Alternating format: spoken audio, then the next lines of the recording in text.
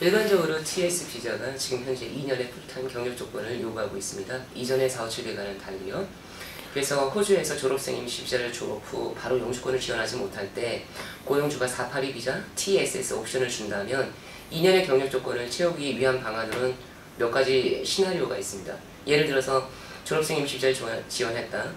그리고 워킹 홀리데이 비자를 한 번도 쓴 적이 없다. 그럼 워킹 홀리데이 비자로 나머지 6개를 채워서 2년의 경력 조건을 충족한 다음에 스폰서십이 들어가는 경우. 또 하나 두 개는 아 두 번째는 워킹을 이미 사용해서 사용할 수가 없다.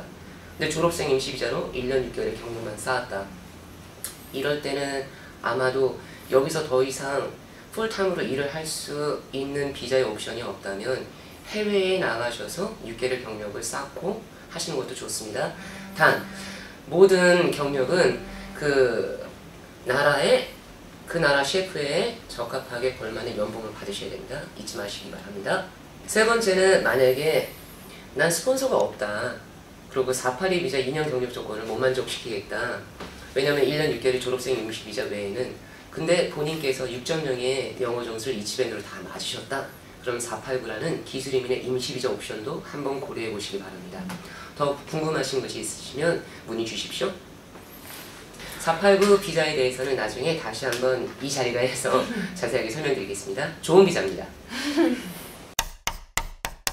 그러면 제가 궁금한 게 있는데 어, 이제 학교를 졸업을 했으면 학생 비자는 아직 유효한 상태인데 학교 코스는 종료가 됐잖아요. 네. 그때는 제가 풀타임으로 그러니까 어, 풀타임으로 일을 할 수가 있나요? 예, 풀타임으로 일을 하실 수 있습니다. 왜냐면 학생 비자, 비자 컨디션을 보시면 8105 그 설명에 학생이 공부를 하고 있는 도중에는 2주에 40시간만 일해야 된다라고 정의가 되어 있습니다. 즉 그 뜻은 학교 코스를 방학이거나 코스가 수료되었을 때는 제한이 없다는 뜻이죠. 그래서 이제 일반적으로 학생들이 2주에 40이라는 정의보다는 일주일에 20시간씩 공부하는 동안엔 일을 할 수 있다 이렇게 이해를 하시고 계시죠? 그러면 만약에 이제 학생 비자도 다 만료가 되고 제가 졸업생 비자를 신청한 상태에서 제가 브리징 상태일 때도 풀타임으로 일이 가능한가요? 예, 학생 비자에서 졸업생 임시 비자를 지원하시면 브리칭 A 비자를 일반적으로 받습니다. 그 브리칭 A 비자 컨디션은 850 하나만 붙습니다. 그 850 하나의 정의는 의료보험을 유지하라 이런 조건만이 붙습니다. 즉 일에 어떠한 제한적인 조건을 넣지 않았기 때문에 이런 마음대로 하셔도 됩니다.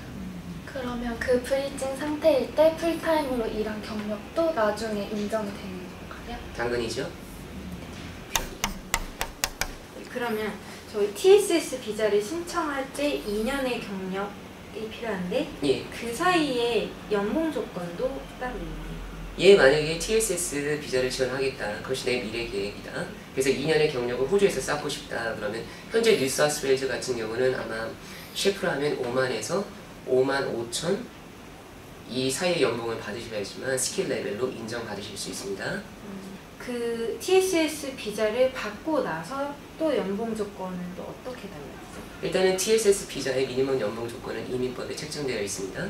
연에 5만 3,900불 이상을 받으셔야 됩니다. 물론 고용주와의 고용계약서의 기본 연봉이 5만 3,900 이상이시면 됩니다. 네, 저희 오늘 이렇게 TSS 비자에 대해서 한번 자세히 알아보고 그리고 새롭게 출연한 489 비자에 대해서도 알아봤는데요.